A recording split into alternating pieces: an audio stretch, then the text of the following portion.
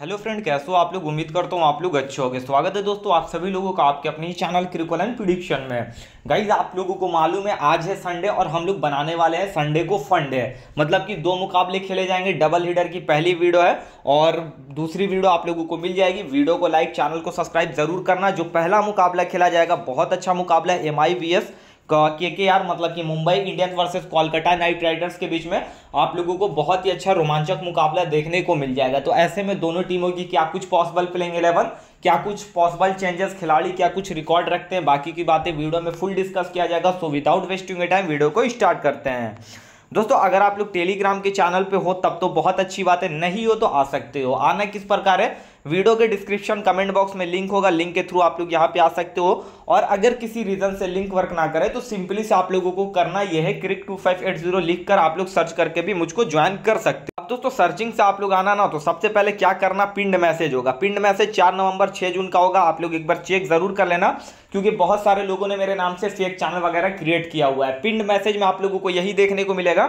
बिल्कुल free team आप लोगों को यहाँ पे प्रोवाइड कराई जाती है। तो अगर कोई भी बंदा मेरे नाम से पेड टीम वगैरह देता है तो आप लोग समझ जाना किसी गलत चैनल पर गए हो। उम्मीद है दोस्तों आप लोग यहाँ पे ज़रूर आ जाओगे। चलिए फाइनली हम लोग वीडियो को स्टार्ट कर लेते हैं। तो 16 अप्रैल तीन बज के तीस मिनट पर आप लोगों को मैच नंबर 22 देखने को मिल जाएगा, जो कि वानखड़े स्टेडियम मुंबई के ग्राउंड पे खेले जाने वाला है।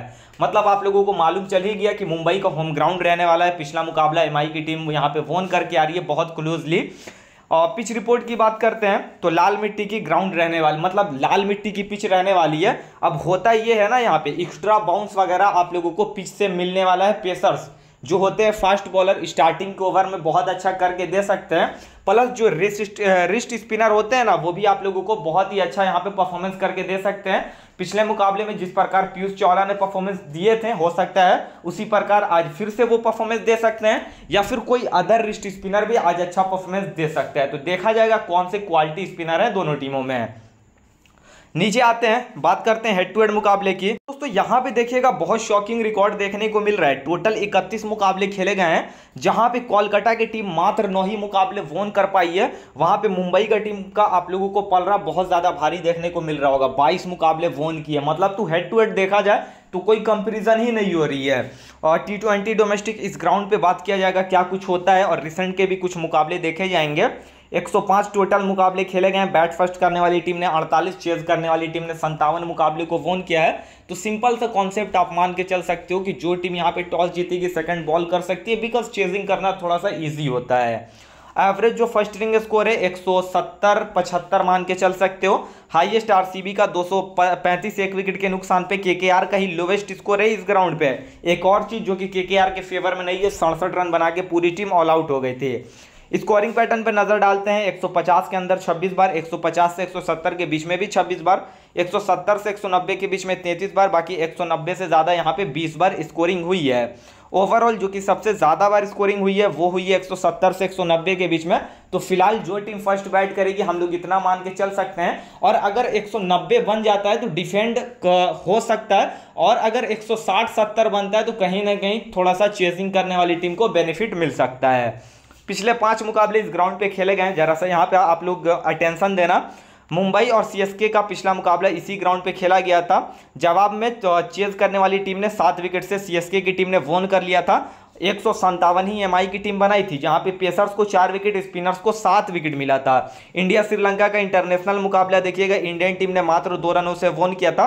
पेसर्स को दस विकेट स्पिनर्स को तीन विकेट अब उसके बाद पिछले साल के कुछ मुकाबले हैं, जहाँ पे देखिएगा थोड़ा सा विकेट का सिनेरियो देख लो और रन देख लो तो यहाँ पे एक एवरेज स्कोर मान के चल सकते हो वन बना था, जो कि इजिली चेज हो गया था। वो यहाँ पे 159 बना था, ये भी चेज हो गया था। यहाँ पे 168 बना था, ये भी चेज हो गया था। और थोड़ा देखिएगा पेसर्स के खाते में आप लोगों को ज़्यादातर विकेटें यहाँ पे देखने को मिलने वाली है। पिछले जो पाँच मुकाबले दोस्तों यहाँ पे खेले गए हैं, चार मुकाबले तो यहाँ पे चेज करने वाली टीम ने ही वोन किया है, और एक मुकाबला बहुत ही क्लोजली इंडिया की टीम ने वोन किया था, जो कि इंटरनेशनल मुकाबला था। तो कहने का सेंस ये है कि अगर आप 160 170 बनाओगे तो ये इस ग्राउंड पे सेफ़ नहीं रहने वाला है इजिली चेस हो सकता है। तो फ़र्स्ट बैट करते हुए अगर किसी भी टीम को जीतना है ना तो 190 प्लस का आंकड़ा लगाना कंपलसरी है, नहीं तो वो फिर बचाना बहुत ज़्यादा मुश्किल हो सकता है। नीचे आते हैं, बात करते हैं एमआई टीम की, क्या कुछ पॉसिबल प्लेइंग इलेवन हो सकती है विथ रिसेंट फॉर्म के साथ। तो आप लोगों को यहाँ से देखो, रोहित शर्मा के साथ ईशान किशन ओपनिंग करते हुए दिख जाएँगे, जहाँ पे पिछले मुकाबले में रोहित शर्मा ने फाइनली 65 का स्कोर किया था। वहीं ईशान किशन पिछले दोनों मुकाबले में मतलब थर्टीज में स्कोर किए हैं और टीम चाहेगी कि इससे भी बेहतर ये स्कोरिंग करके दें। अब तिलक वर्मा पिछले मुकाबले में वन डाउन खेलने आए थे और ये सीज़न इनका बहुत अच्छा ड्रीम सीज़न जा रहा है। पिछले तीनों मुकाबले में कह सकते हो, इन्होंने परफॉर्मेंस दिया है। एक ट्वेंटी टू का इसको स्टार्टिंग भी मिल चुका है। सूर्य कुमार यादव देखिएगा, वैसे तो ICC T twenty I ranking के नंबर एक खिलाड़ी हैं, लेकिन इस आईपीएल इन्होंने कुछ खासा प्रभावित नहीं किया, लेकिन उम्मीद है टीम को इनसे पूरी रहने वाली है। पिछले तीन मुकाबले में देखिएगा, सोलह ही रन कर पाए हैं। वहीं टीम डेविड की बात करते हैं, एक हार्ड हिटर बैट्समैन है, तेरह का स्कोर करके आ रहे हैं, कैमरोन ग्रीन। अब इनका बैटिंग क्रम पिछले मुकाबले में नीचे चला गया था, ईशान किशन ओपनिंग करने आए थे रोहित शर्मा के साथ, ठीक है? कैमरो, कैमरोन ग्रीन नीचे आए थे, सत्रह का स्कोर किए थे बॉलिंग से खैर विकेटलेस गए थे। उसके बाद निहाल वधीरा की बात करते हैं। बैटिंग इनको नहीं मिली थी और ऋतिक सुलोकन को एक विकेट मिला था। अरशद खान पिछले दो मुकाबले से विकेटलेस गए हैं। पीयूष चौला को तीन विकेट मिला था और अगेन इस ग्राउंड पे स्पिनर काम करके दे सकता है। और बाकी रेली मिड्रिड खेले थे, दो विकेट इन्होंने निकाला था। जैसन बैरेंडोफ को एक ही ओवर में, लास्ट ओवर में बॉलिंग करते हुए डेथ ओवर में तीन विकेट मिल गया था। इनके तरफ़ से दोस्तों बात करते हैं ओपन डेथ बॉलर। तो देखो जैसन बैरेंडोफ अरशद खान को ओपनिंग में डेथ में रेली मेड्रिड जैसन बैरेंडोफ अरशद खान का नाम मान के चल सकते हो। बाकी जो खिलाड़ी बेंच पे गए हैं, आप उनका रिसेंट फॉर्म देख सकते हो। जोफ्रा आर्चर को थोड़ा सा कुछ इंजरी का इशू है। अदरवाइज़ ये आप लोगों को खेलते हुए दिख सकते हैं। अब जो बॉलर्स इनके तरफ़ से मैच के दौरान अच्छी खासी ओवर डाल सकते हैं। तो Jason Behrendorff Riley Meredith Piyush Chawla, उसके बाद देखो यहाँ पे तीन बॉलर तो सियोरिटी के साथ मुझको लगता है, यहाँ से सोलह ओवर कंप्लीट करेंगे, बाकी के जो आठ ओवर बचते हैं अरसद खान, ऋतिक स्लोकन और कैमरून ग्रीन आप लोगों को हो सकता है, आपस में ओवर डिवाइड करें, ठीक है? बात करते हैं दूसरी जो कि के की टीम रहने वाली है, उम्मीद है दोस्तों जो चीज़ें मैं आपको बता रहा हूँ, आप लोग अच्छे से समझ रहोगे, और हाँ प्लीज़ आप लोग यहाँ से स्क्रीन ज़रूर कैप्चर करते रहना। तो इनके तरफ़ से पिछले मुकाबला हार के आ रहे हैं। गुरबाज के साथ नारायण जगदीशन ओपनिंग करते हुए दिख जाएँगे। गुरबाज का खाता नहीं खुला था है वैसे बहुत ही टैलेंटेड अफ़गानिस्तान के बैट्समैन नारायण जगदीशन छत्तीस का स्कोर किया था, लेकिन जैसे कि मैं हर बार कहता हूँ, ये जब डोमेस्टिक खेलते हैं ना आईपीएल भी वैसे डोमेस्टिक है, लेकिन जब इससे छोटे लेवल पे आप जाओगे टीएनपीएल देख लो, सैयद मुश्ताक अली ट्रॉफी देख लो, यहाँ पे बहुत अच्छा ये विराट कोहली है, वहाँ पे कि ये विराट कोहली है। वेंकटेश अय्यर दस का स्कोर किया था, लेकिन हालिया फॉर्म इनका अच्छा है। और नीतीश राणा पचहत्तर का स्कोर किए थे पिछले दो मुकाबले से बहुत अच्छा इन्होंने कप, कप्तानी पारी खेली हुई है। बाकी पिछले मुकाबले में छः बॉल पे छः बाउंड्री भी लगा के आ रहे हैं। रिंकू सिंह ये खिलाड़ी ना यार उभरता हुआ सितारा है और मुझको लगता है बहुत जल्दी ये इंडियन टीम में भी डेब्यू करते हुए आप लोगों को दिख सकते हैं। अब शॉकिंग वाली बात देखना आंध्र रसल पिछले मुकाबले में तीन का स्कोर किए थे लेकिन इन्होंने बॉलिंग की थी। उससे पहले के तीन मुकाबले में ये बॉलिंग को मतलब हाथ भी नहीं लगा रहे थे शार्दुल ठाकुर बॉलिंग से खाता नहीं खुला था, सुनील नारायण का भी खाता नहीं खुला था बॉलिंग से। वरुण चक्रवर्ती को एक विकेट मिला था, लेकिन आज के मुकाबले में ना, सुनील नारायण और वरुण चक्रवर्ती दोनों इंपॉर्टेंट हो सकते हैं।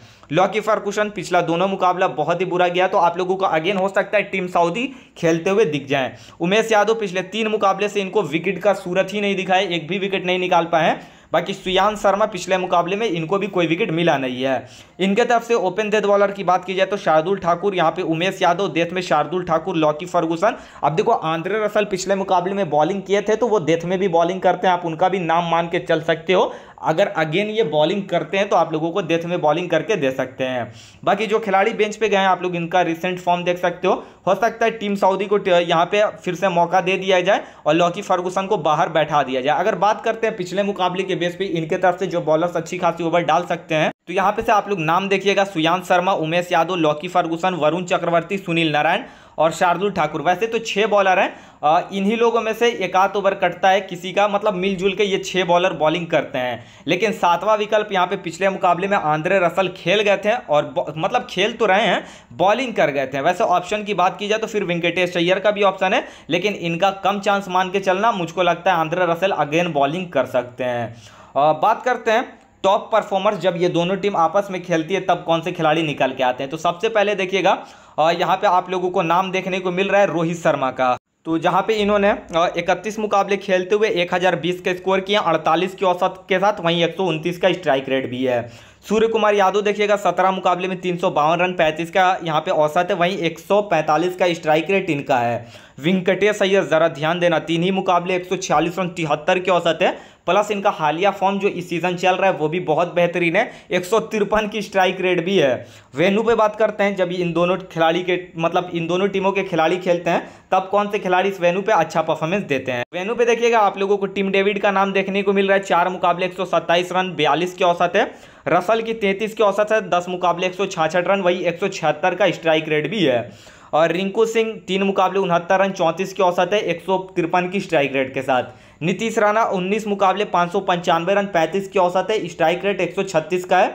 और बात करते हैं आखिरी, जो कि खिलाड़ी कैप्टन रोहित शर्मा, मुंबई इंडियंस के सड़सठ मुकाबले अट्ठारह रन बैटिंग से सैंतीस की औसत है, वहीं स्ट्राइक रेट एक सौ बत्तीस का है। तो उम्मीद है दोस्तों, अभी तक मैंने जितने भी खिलाड़ियों के बारे में आप लोगों को बताया, समझाया, आप लोग अच्छे से समझ गए होंगे। बाकी कोलकाता नाइट राइडर्स के इनके ओवरऑल जितने खिलाड़ी हैं, पूरे करियर का डाटा लिखा हुआ है, जो कि हम लोगों ने ऑलरेडी कई बार डिस्कस किया तो आप लोग चाहो तो यहाँ से स्क्रीनशॉट ले लोगे। बाकी बताऊँगा सेम थिंग तो वीडियो लंबी हो जाएगी, जो कि मैं नहीं चाहता हूँ करना तो आप लोग चाहो तो स्क्रीनशॉट ले लो। डेविड वीज वगैरह खेलेंगे तो आप लोग देख सकते हो। बाकी अगर कोई भी खेलेगा तो आफ्टर टॉस तो मैं आप लोगों को टेलीग्राम पे अपडेट करूँ कर ही दूँगा। कोई दिक्कत की बात नहीं है। हाँ रेली मेड्रिड खेले थे राइट टर्म फास्ट बॉलिंग करते हैं, अठहत्तर मुकाबले, एक दो विकेट ओवरऑल इनके नाम है टी में। तो आप लोग जितने भी खिलाड़ी हैं, पूरे करियर का डाटा है डेविड ब्रेविस वगैरह कोई भी खेले तो आप लोग निसंकोच यहाँ से देख सकते हो। स्क्रीन ले लेना, काम आ जाएगा। बाकी जो दूसरी टीम है के उनके भी यहाँ पे ओवरऑल सारे खिलाड़ियों का रिकॉर्ड है। आप लोग यहाँ से देख लेना, जरा सा मैं डेली कैपिटल्स का लिख दिया था। खैर, यहाँ पे मैंने सही कर लिया है। आप लोग चाहो तो यहाँ से बिल्कुल देख सकते हो। अगर जैसन रॉय को मौका मिले तो ये अच्छे खिलाड़ी रहने वाले हैं। तो अगर कोई भी खिलाड़ी अंदर बाहर जाता है तो आप लोग चाहो तो यहाँ से देख सकते हो। स्क्रीनशॉट ले लेना, ये काम का रिकॉर्ड रहता है। कभी भी आप लोगों को काम आने वाला है, ठीक है? बाकी की बात है एप्लीकेशन पे चल के हम लोग डिस्कस कर लेते हैं। दोस्तों, ये जो टीम है, मैं आप लोगों को चॉइस लाइन की एप्लीकेशन पे बता रहा हूँ। बहुत अच्छी एप्लीकेशन है, आप लोग एक बार ज़रूर ट्राई करना। वीडियो के डिस्क्रिप्शन में लिंक है। ऑलरेडी सात सौ सतहत्तर लोग अपने क्रिकुल एंड प्रिडिक्शन फैमिली से यहाँ पे खेलते हैं। Cric two five eight zero refer code लगा लेना, पाँच रुपीज़ का साइन अप बोनस प्लस पंद्रह रुपया रियल कैश मिल जाएगा। पर रेफरल आप लोगों को इसी प्रकार मिलता रहेगा। बहुत सारे बेनिफिट है, आप लोग एक बार खुद भी यहाँ पे ट्राई करना, मज़ा आने वाला है। फ्री एंट्री आप लोगों को देखने को मिल रही है, पाँच रुपये में आप लोग नोइज का ईयरपोर्ट्स जीत सकते हो सैमसंग का फ़ोन जीत सकते हो। गैजेट लीग ऐड होती है। खैर, अभी ऐड नहीं है, लेकिन हो जाएगी, आप लोग चिंता मत करो। बाकी थोड़ा सा देखो हेड टू हेड में मैं आप लोगों को कमीशन यहाँ पे दिखाता हूँ। बावन सौ में दस हज़ार की विनिंग कर सकते हो, जो कि सेम ड्रीम वाले संतावन सौ पचास लेते हैं। तो सेम लीग के लिए सेम विनिंग के लिए ज़्यादा देने का कोई सेंस बनता नहीं, आप भी समझदार हो। तो प्लीज़ एक बार ज़रूर यहाँ पर आप लोग ट्राई करना, ठीक है? आपके भले के लिए मैं बोल रहा हूँ। बात करते हैं दोस्तों विकेट कीपर ऑप्शन से। तो फ़िलहाल मैंने ईशान किशन को लिया, गुरबाज का ऑप्शन है। बहुत सारे लोग दोनों को ट्राई करेंगे, लेकिन मुझको नहीं लगता है कि दोनों बेस्ट रहने वाले हैं। आपकी किसी एक को लेना ज़्यादा बेहतर रहने वाला है।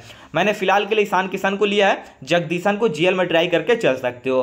बैटिंग सेक्शन से नीतीश राणा, रोहित शर्मा और सूर्य कुमार यादव को मैंने टीम में ट्राई किया है। अब रिंकू सिंह कंसिस्टेंसी के साथ परफॉर्मेंस कर रहे हैं। और बैटिंग सेक्शन में देखिएगा, सबसे ज़्यादा पॉइंट इन्होंने ही मतलब प्रोवाइड किया है। लेकिन इनको लेने का मतलब ये हुआ ना कि इनका बैटिंग क्रम नीचे रहने वाला है। तो अगर आपको लगता है कि के का टॉप ऑर्डर फ्लॉप होगा, तब ऐसे सिचुएशन में ये काम करके दे सकते हैं। तो फ़िलहाल के लिए मैंने कुछ सोचते हुए इनको ड्रॉप किया तिलक वर्मा का भी ऑप्शन है यहाँ पे।